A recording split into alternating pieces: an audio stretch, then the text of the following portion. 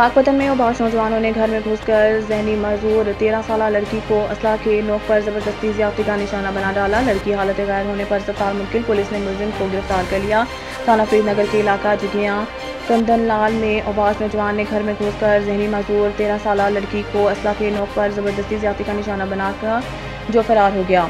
लड़की हालत गायर होने पर लड़की को सप्ताह मुखी कर दिया गया। डी पी ओ तारिक विलायत के नोटिस पर पुलिस ने लड़की के वालिद जुल्फ़ार अली की मदैयत में मुकदमा दर्ज करके मुलजिम अमीन को गिरफ़्तार कर लिया। डी पी ओ तारिक विलायत ने अस्पताल पहुँच कर मुतासर लड़की और इसके खानदान से मुलाकात की।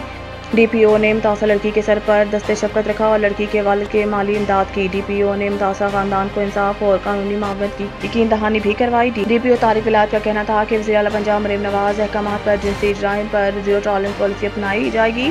प्रोफेशनल अंदाज से तफ्तीश और बेहतर प्रोसिक्यूशन से मुलिम को सख्त सजा दिलवाई जाएगी।